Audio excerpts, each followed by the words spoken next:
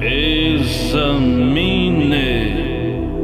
palavras escritas, livro do profeta Isaías.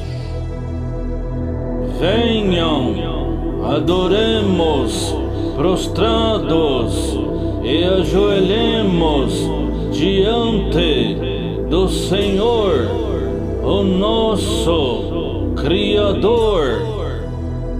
Isaías, capítulo 37, versículo 14 ao 20.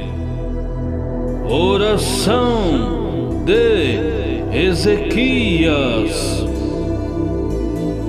Ezequias tomou a carta da mão dos embaixadores, leu-a, subiu à casa do Senhor e estendeu-a diante do Senhor.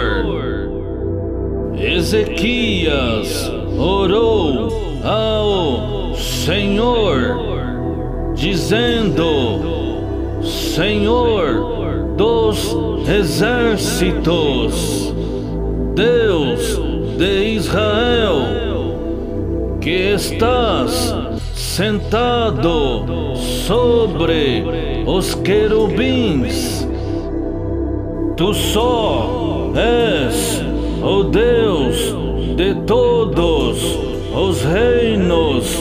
da terra.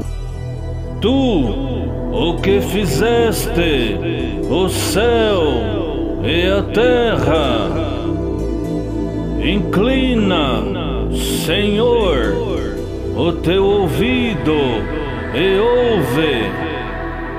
Abre, Senhor, os teus olhos e vê ouve todas as palavras de Senaqueribe, as quais ele mandou dizer para blasfemar do Deus vivo.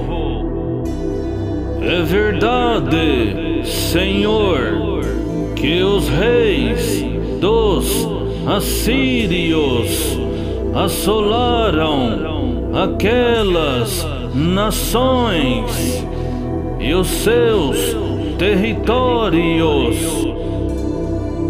e entregaram ao fogo os seus deuses, porque eles não eram deuses, mas obras das mãos dos homens, madeira e pedra, e por isso os despedaçaram.